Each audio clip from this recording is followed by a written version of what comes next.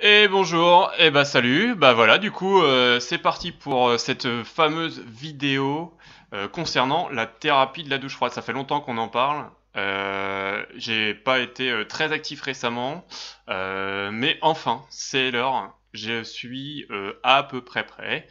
Et donc on va la découper en deux parties. Alors ça va être une seule vidéo, mais il y a un petit résumé en premier pour ceux qui n'ont pas le temps. Euh, par exemple, euh, dans une vidéo précédente, par exemple, je parlais euh, de l'effet hormétique. Donc un bref rappel, l'hormèse c'est un phénomène qui suscite beaucoup d'intérêt depuis quelques temps, notamment en tant que moyen pour améliorer la santé et augmenter les performances physiques. Alors par exemple on trouve, justement dans le cadre de la vidéo, l'hydrothérapie qui consiste à utiliser l'eau froide pour améliorer la gestion de la douleur et l'immunité dans certaines conditions telles que des maladies pulmonaires intrusives chroniques, l'obésité, l'anxiété, la fatigue et les AVC. Alors, la recherche a montré qu'au moins une douche froide quotidienne agirait comme un antidépresseur, et bien qu'il y ait euh, peu de recherches scientifiques euh, concernant euh, les activités physiques et la douche froide, on connaît certains athlètes qui utilisent la thérapie du froid avant et après leurs activités physiques, pensant que ça améliore leur performance. Toutefois, il y a des indications aujourd'hui qui montrent que cette thérapie réduirait en réalité la régénération des fibres musculaires, le flux sanguin le fonctionnement des plaquettes et la taille des cellules musculaires. Donc en gros, pour faire court, pour mon ami un peu trop pressé, prends des douches froides mais pas trop rapprochées d'une séance de sport, sors moins habillé quand il fait froid et ça pourrait changer ta vie. Maintenant, si tu as un peu plus de temps, on va détailler un peu le sujet. Alors pour l'anecdote, il y a plusieurs années, j'étais indépendant. J'exerçais donc ma propre activité. Et pendant cette période, je suis tombé sur une vidéo TEDx, c'est euh, un c'est une chaîne euh, et un événement, euh, enfin ce sont des événements parfois indépendants euh, qui sont organisés dans différentes villes à travers le monde, où des gens donnent des conférences sur des sujets tout à fait divers. Et, dans cette vidéo, donc TEDx, je suis tombé sur un certain Joël Runion. Et donc le sujet était How Cold Shower Therapy Can Change Your Life ou Comment la thérapie de la douche froide peut changer votre vie en français dans le texte. Alors, de prime abord, j'étais un peu confus par le titre. Euh, quand j'étais gamin, je connaissais euh, la douche froide. C'était un moyen pour mes parents de me calmer, voire de me punir quand je faisais une vraie grosse connerie. Alors, faut pas leur en vouloir, je pouvais vraiment être pénible. Quoi qu'il en soit, j'ai pas gardé un très bon souvenir des, des douches froides. Donc, j'étais vraiment perplexe à l'idée que ce soit utilisé comme une thérapie. Et dans son discours, Joël raconte une histoire au sujet d'une rencontre qu'il a eue avec un ami entrepreneur à succès. Joël lui parle de son souhait de peut-être créer une boîte après qu'il en ait fini avec une nouvelle opportunité de travail qu'il vient juste d'avoir. Et donc son ami lui demande pourquoi c'est pas déjà le cas, pourquoi il n'a pas déjà commencé son activité. Alors, si toi-même tu te poses la question, pourquoi par exemple toi-même t'as pas commencé euh, ta propre activité, sauf si vraiment t'as pas l'esprit entrepreneurial, bon là ok, mais sinon tu trouveras facilement les réponses de Joël. Tout le monde a les mêmes excuses pour ne, pas avoir déjà commencé ou entrepris euh, sa propre affaire. Par exemple, t'as pas assez d'argent, t'as pas assez de temps, tu sais de toute façon pas qu'est-ce que tu pourrais faire, etc. Malgré le désir d'entreprendre. la réalité, c'est que la plupart des gens ont peur de ce qu'implique une nouvelle situation comme commencer une activité. Tu vas sortir de ta zone de confort tu vas perdre ton revenu régulier, peut être plus ou moins effrayant, surtout selon ta situation sociale. Si par exemple tu es en couple ou si tu as des enfants, si tu as, si des emprunts parce que tu as acheté une maison ou une voiture. En plus de cela, tu vas devoir créer la société que tu veux, ce qui peut être euh, dur et éprouvant. En bref, ce sera inconfortable. Et justement par rapport à ce concept de confort, l'ami de Joël lui dit de faire une chose pour comprendre ce que ce que c'est vraiment l'inconfort. Et le principe, c'est prendre une douche froide par jour pendant 30 jours, ça, c'est inconfortable. Alors, comme je le disais, à ce moment-là, j'avais ma propre société et j'étais curieux de voir comment cette thérapie opérerait sur moi. Alors j'ai essayé. J'ai arrêté de compter après 40. Pour être honnête, je crois pas que ça m'ait permis d'être plus ou moins capable de gérer des situations délicates. Prendre le taureau par les cornes, c'est pas vraiment quelque chose qui m'ait jamais vraiment repoussé. Malgré ça, je pense pas qu'être incapable. Pardon, pardon.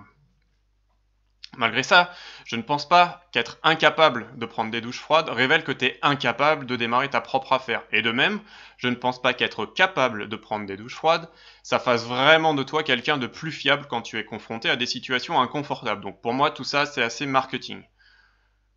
Mais voilà, j'ai quand même trouvé des bénéfices et je vais du coup te dire ce que j'en ai, ce que j'en pense plus concrètement. Premièrement, c'est écologiquement responsable. En effet, prendre des douches froides, ça implique que tu n'utilises pas d'eau chaude.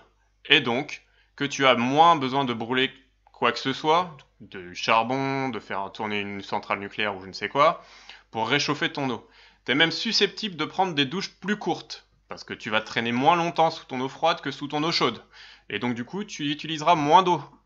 Et donc plus d'économie. Bref, c'est pas que bon pour l'environnement. Deuxièmement, perte de poids. Quand ton corps est exposé au froid, il a besoin de plus de chaleur pour rester chaud. C'est une, c'est une notion d'homéostasie. Il faut qu'il conserve un certain équilibre, notamment en termes de température. Et donc pour se réchauffer, il doit générer de l'énergie, ce qui veut dire qu'il doit brûler plus de graisse que la normale. Avoir froid peut aussi générer de la graisse brune. Alors par contre, c'est une exposition régulière et un peu plus intense que, sortir avec une doudoune par, euh, par 5 euh, degrés dehors. Et donc la graisse brune, c'est une sorte de graisse qui, à l'inverse de notre graisse blanche bien connue, qui aide à générer de la, chaleur, à booster ton à, booster ton métabolisme et à brûler des graisses. Parce que t'as pas non plus que de la graisse brune. Et la graisse brune, c'est une graisse qui se trouve beaucoup chez les enfants de bas âge. Et c'est ce qui leur permet de facilement lutter contre le froid dès leur naissance. Chez l'adulte, on trouve généralement que de la graisse blanche.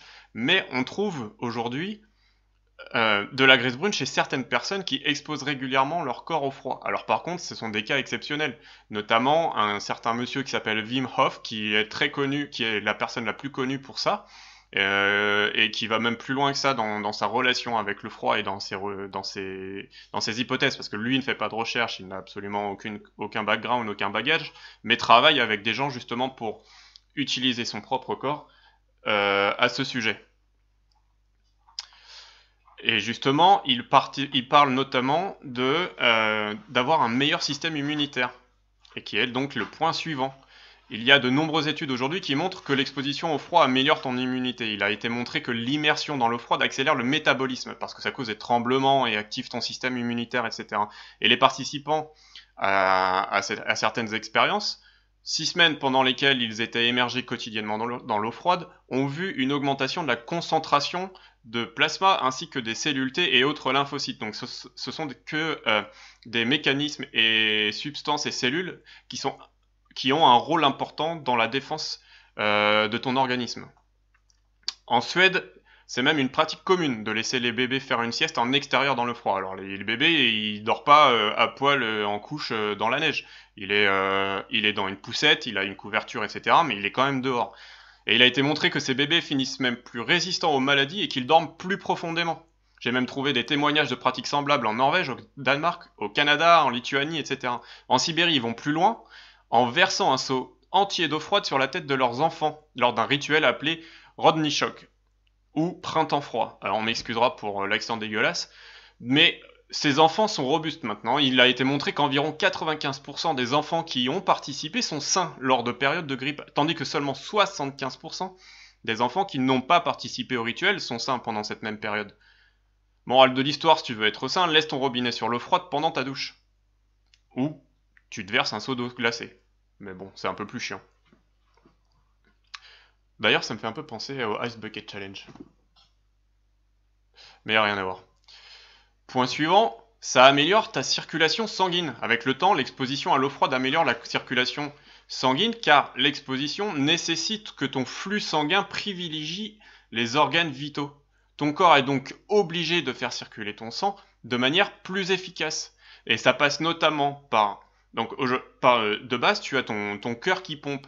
Mais en fait, quand tu t'exposes au froid, il faut savoir que tu as autour de tes veines et de tes, de tes artères des, ce qui s'appelle des vasoconstricteurs. Et sont en fait des genres de, petits muscles euh, ronds qui, qui se contractent et qui aident en fait à faire circuler le sang le long de tes artères et de tes veines. Ces muscles se développent particulièrement en cas dans, le, dans le cas d'exposition au froid, puisque du coup il y a besoin d'aider ton cœur à faire, à faire circuler son sang. Et il faut savoir que du coup, une fois, même quand euh, donc une fois que ces muscles sont un petit peu développés, parce qu'on on va pas se mentir aujourd'hui, euh, pour la moyenne euh, des personnes, c'est pas trop le cas.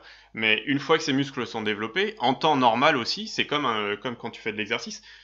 Même quand t'es pas exposé au froid, tu fatigues du coup beaucoup moins ton cœur, puisque ton cœur a beaucoup moins de travailler à faire circuler ton sang dans des conditions normales également, et parce que tes vasoconstricteurs permettent justement H24 une meilleure circulation du sang. Donc voilà. Il a aussi été montré que les douches froides aident à soulager des symptômes de la dépression.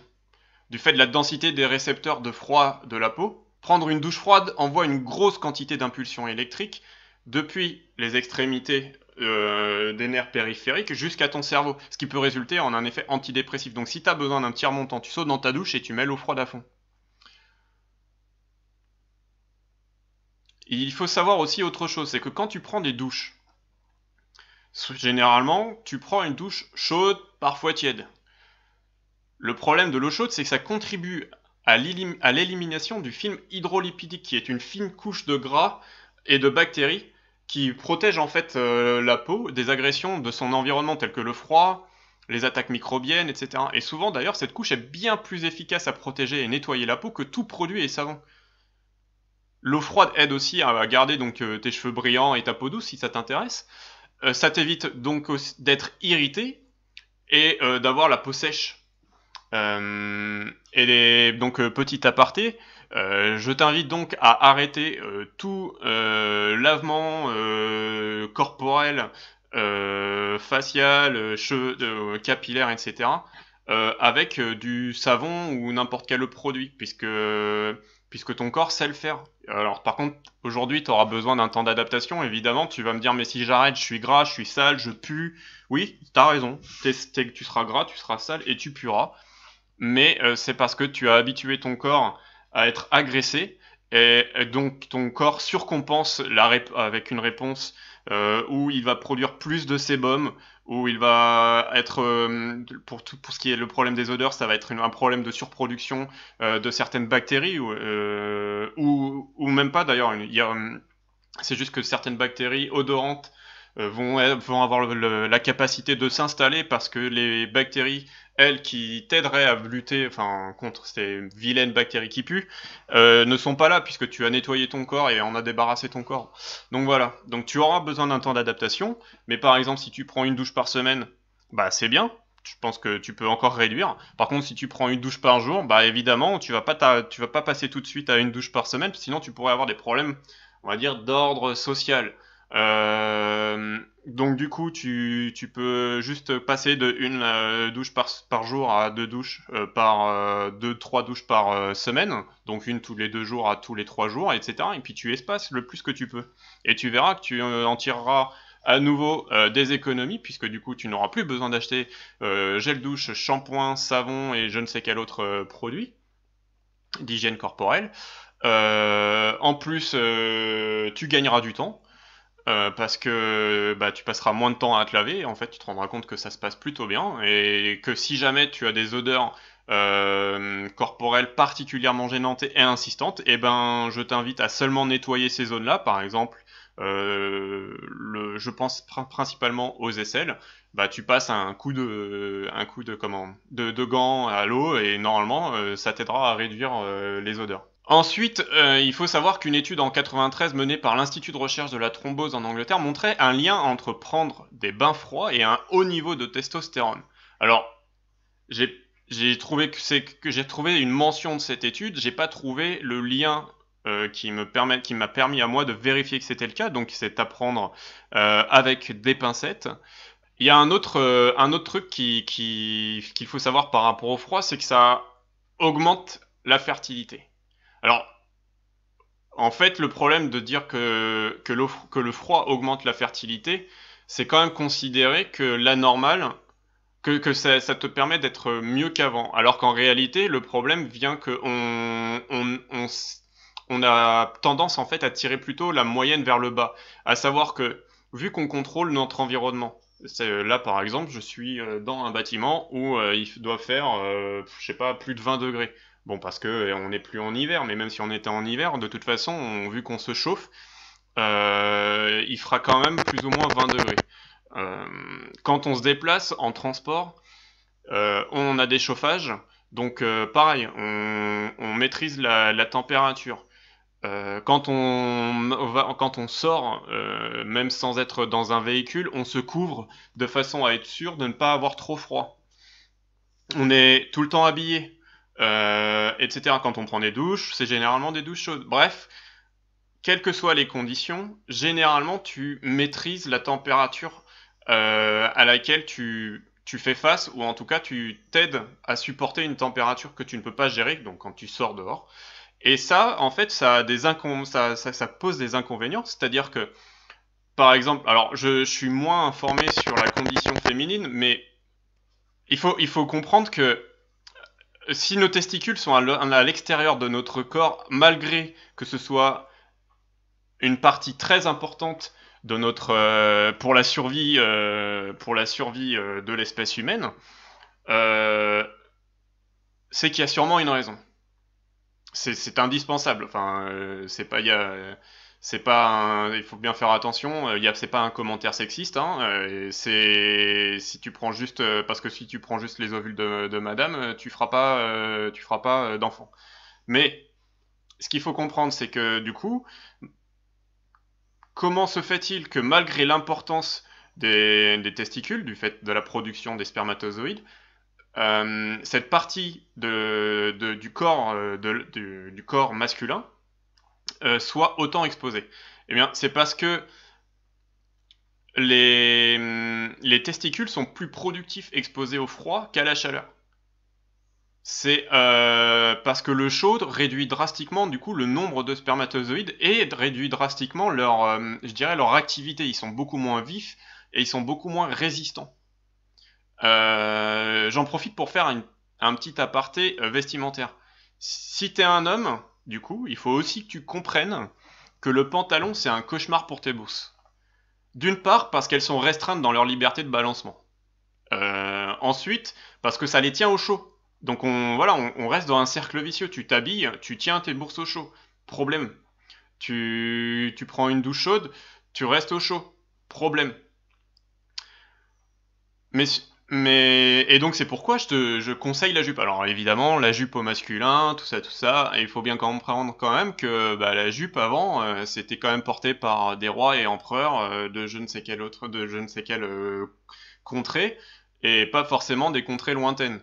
Donc voilà, il y a eu un tournant dans l'histoire, mais il faut bien arrêter de, poser une appartenance de genre juste du fait du type de vêtement. Et en portant une jupe, tu seras plus libre, tu seras plus au frais, tes bourses seront heureuses et tes spermatozoïdes seront plus vigoureux. Donc si tu cherches à faire des mini-toits et que tu veux donner une meilleure chance à tes nageurs de se battre, assure-toi de mettre ton robinet sur le froid, de porter des jupes et si tu veux faire les deux en même temps, t'as le droit, c'est autorisé, c'est toi que ça regarde. Ensuite, la thérapie du froid, ça permet d'augmenter ton énergie, mis à part le fait que rien ne te réveillera jamais mieux qu'une douche froide. Les douches froides peuvent aussi booster ton niveau d'énergie parce que quand tu sautes sous une douche froide, tes terminaisons nerveuses dans ta peau se réveillent du monde de glace dans lequel elles viennent d'entrer. Ça les excite. Donc ton corps commence à... et tu commences à respirer rapidement, le temps que ton corps s'adapte. Et ça, c'est une réaction que même la meilleure tasse de café au monde ne peut battre. Ensuite, il y a ton système lymphatique, qui fait le tri entre les déchets et les cellules euh, pour aider à combattre les maladies. Et, ça, c'est séparé de tes vaisseaux sanguins, mais c'est déplacé par des contractions de tes muscles. Les douches froides forcent ton corps entier à se contracter et forcent donc ton système à pousser les fluides à travers ton corps, ce qui les empêche de stagner à un endroit de ton corps. Ce qui est le cas quand ton système lymphatique est compromis ou inefficace. Et du coup, quand, quand ça stagne, il y a une culture microbienne. Et c'est pas une belle, c'est pas une bonne culture microbienne. Quand ça stagne, c'est rarement bon. Ensuite, les douches froides font que tu respires plus profondément en te forçant à faire des pauses et à retenir ton souffle comme une sorte de réaction automatique au moment où l'eau froide frappe. Alors ça, c'est pas forcément vrai dès le début, parce que souvent le premier, choc quand ton système n'est pas habitué, ça, va surtout être d'avoir une respiration un peu panique. Tu vas avoir du mal à, tu vas avoir du mal à respirer parce que ton corps va être choqué et que t'as pas l'habitude de gérer ça. Mais ça, ça va passer. Mais après, une fois que tu commences à être habitué, ça va, ça va aider, à ouvrir tes poumons. Donc, comme le fait de faire de l'exercice physique. Et donc, ça va t'apporter plus d'oxygène. Maintenant, comme je le disais, si tu te souviens des bébés dont je parlais un peu plus tôt et qui dorment profondément, ben, ils sont pas les seuls à pouvoir mieux dormir la nuit grâce au froid. Les insomniaques sont souvent invités à prendre des douches froides. Ça serait parce que, après le choc initial de la douche, ton corps se calme et il se relaxe. D'ailleurs, moi-même, j'ai remarqué que je dormais mieux et plus profondément après une douche froide. Ensuite, ça a été mentionné au tout tout tout début pour, euh, pour les gens qui sont pressés, une douche froide, ça traite traiterait effectivement la dépression maintenant qu'il a été prouvé que l'hypothermie augmenterait la noradrénaline et la bêta-endorphine dans le sang. Alors, la, noradrénaline est une substance qui est synthétisée par les fibres nerveuses et qui participe à la constriction artérielle, tout ce qui est donc euh, lié au vasoconstricteur. Donc, ça te, donne une meilleure, ça te fournit une meilleure circulation sanguine.